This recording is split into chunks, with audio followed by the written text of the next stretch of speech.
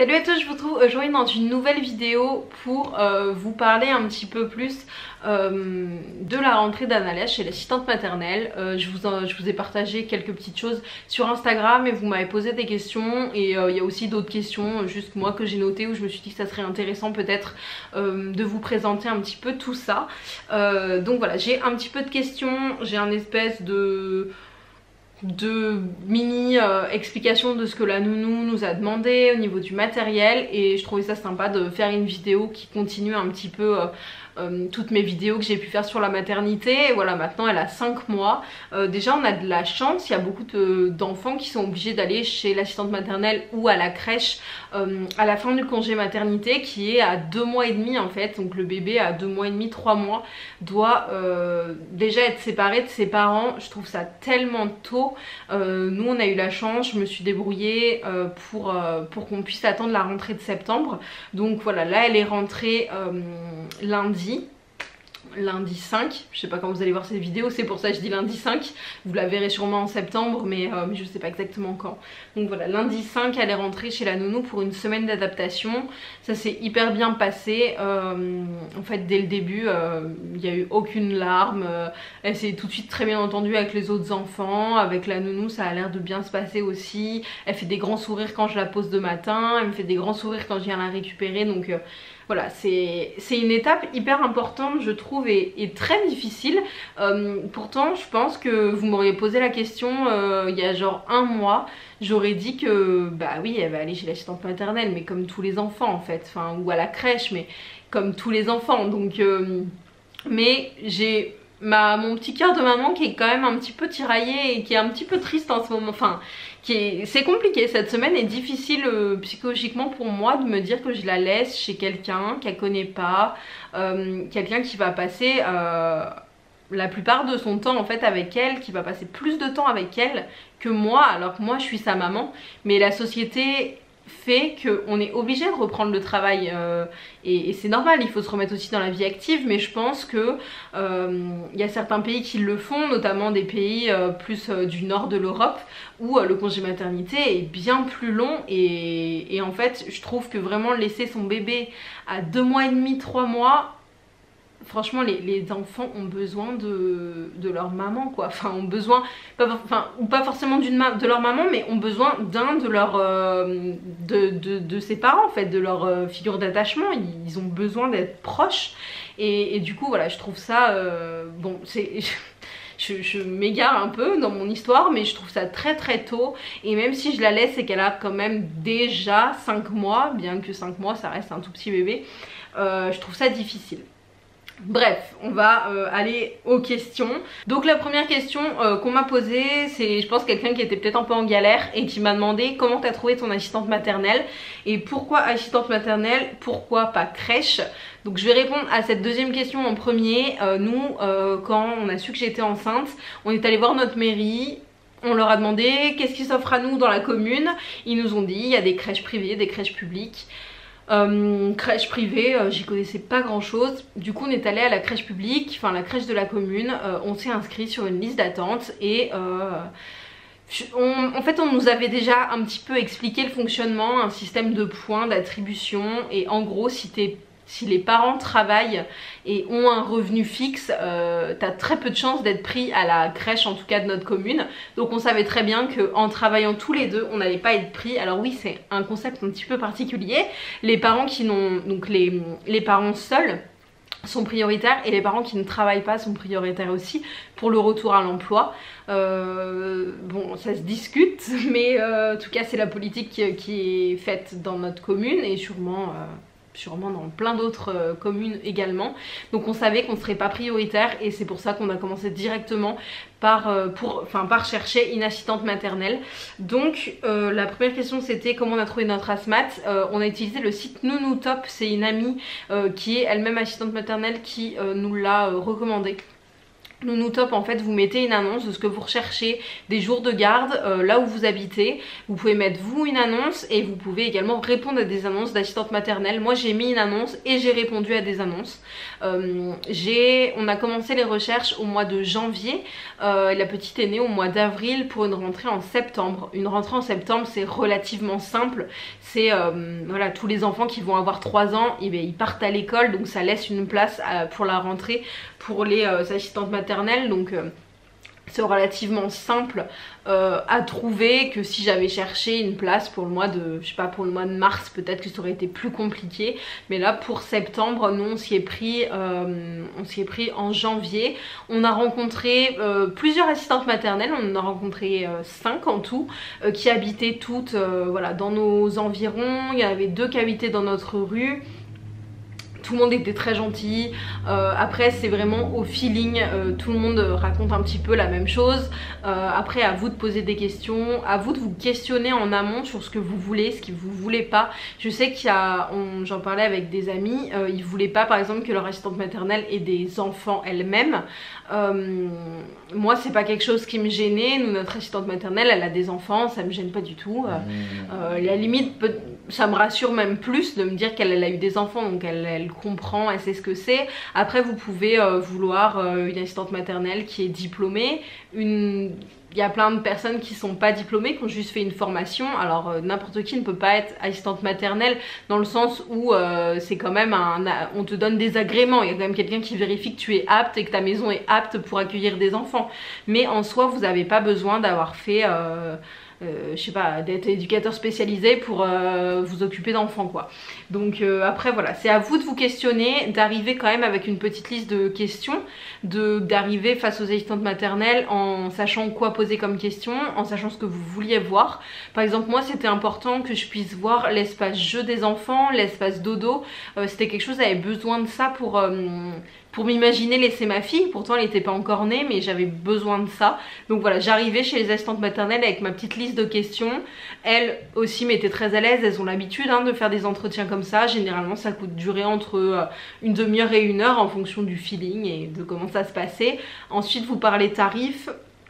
Et, euh, et, puis voilà, après c'est vraiment au feeling, on a rencontré du coup 5 personnes, avec les 5 ça s'est très bien passé, il y en a une où pour moi c'était euh, rédhibitoire, ça serait pas elle parce que... Euh, en gros, pour vous expliquer la petite histoire, elle, elle voulait pas parler au papa. C'est pas qu'elle voulait pas parler, mais elle voulait pas communiquer avec le père. Pour elle, c'était l'enfant, c'est forcément avec la mère. Donc déjà, moi, c'était c'était non parce que en plus, moi, c'est Vivien qui s'occupe en fait on a, on mis, euh, euh, les heures de, garde sur son travail à lui vu que moi je suis intérimaire et ça change tout le temps donc euh, voilà c'est surtout basé sur ses horaires à lui donc c'était complètement fou de se dire qu'elle n'allait pas vouloir parler avec lui alors que ce serait lui le principal intermédiaire.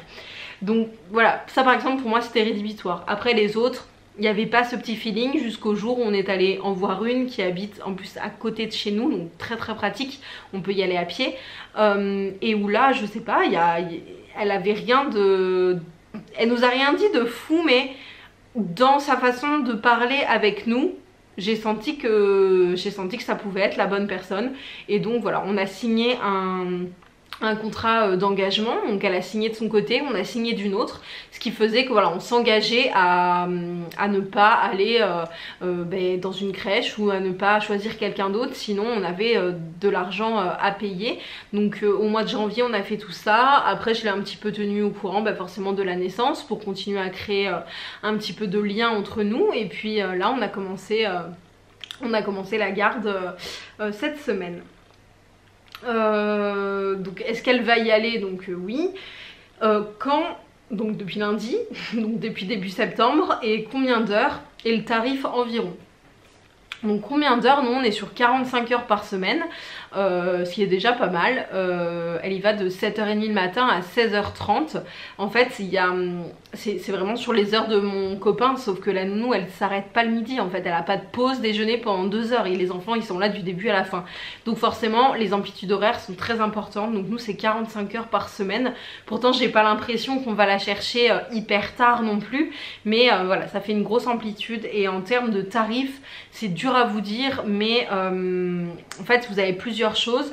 Vous avez le tarif euh, à l'heure de la nounou, vous avez les indemnités journalières que vous lui devez tous les jours, et vous avez après des suppléments, par exemple si vous, euh, ben, si, si elle fait les repas à votre enfant. Nous par exemple c'est 2 euros le repas du midi, 1 euro de plus pour le goûter. Ça dépend ce que vous prenez. Est-ce que vous voulez fournir les repas ou est-ce que c'est elle qui les fait? Nous c'est elle qui les fait puisque je trouve ça plus simple dans notre organisation.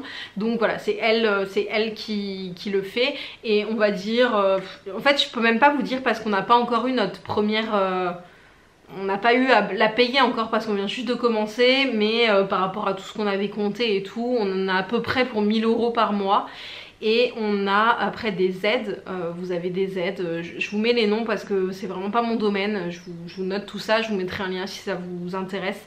Euh, on a des aides, il y a deux sortes d'aides, euh, une de la CAF et une... Euh, je sais même pas comment ça s'appelle. la CMG, le complément du mode de garde ça. Euh, et, voilà, après c'est en fonction de votre euh, quotient familial. Euh, voilà, donc nous on a, on a je crois 350 euros d'aide, plus, plus une autre aide. Ça, nous donne à peu près 450 euros d'aide par mois, donc ça nous laisse 5 ou 600 euros de reste à charge, ce qui est énorme en fait, c'est très très cher. il me semble que les crèches sont un peu moins chères que les assistantes maternelles. Mais ça, je peux même pas vous le, vous le dire parce que c'est pareil, c'est... Enfin, je peux pas vous le garantir parce que c'est en, en, fonction de vos revenus, c'est en fonction de la ville où vous habitez. Il y a tellement de choses, franchement, renseignez-vous. Allez à votre mairie, ils vous diront euh, vraiment euh, comment ça se passe et renseignez-vous auprès des crèches privées, euh, le bouche à oreille, tout ça parce que je vais pas pouvoir trop vous aider sur ce sujet, mais c'est un tarif très important. Euh, donc asthma ou crèche, comme je vous ai expliqué, euh, à la base on n'était pas contre la crèche parce que de toute façon elle va y passer en collectivité. Hein.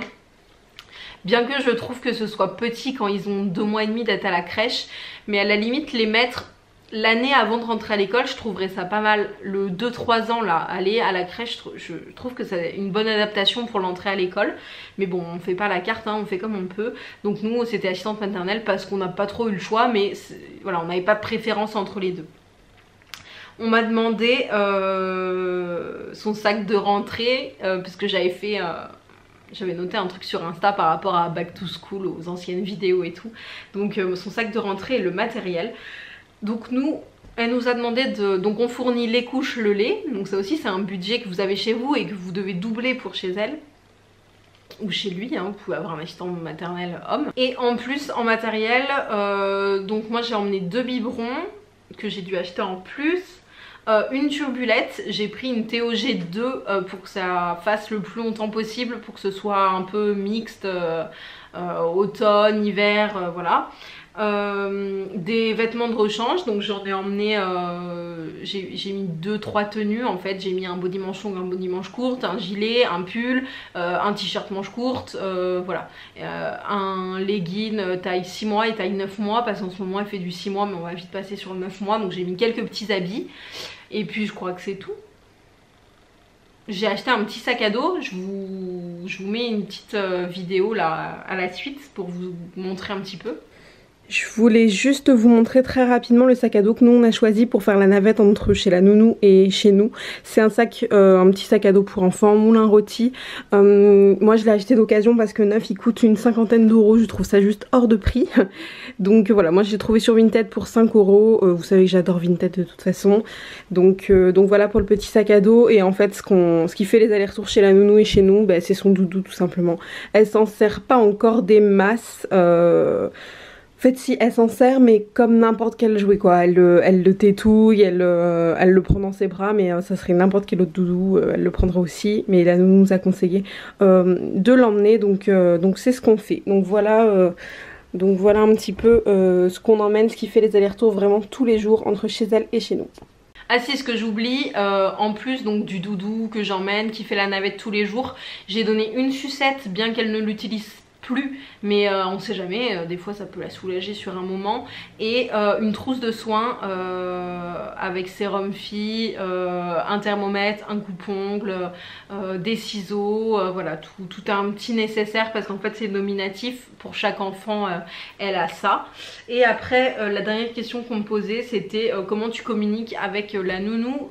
Donc nous on a un groupe WhatsApp où elle nous envoie des petites photos, elle nous dit ce qu'elle mange le midi, moi ça me rassure vraiment beaucoup euh, de savoir un petit peu tout ce qu'elle fait.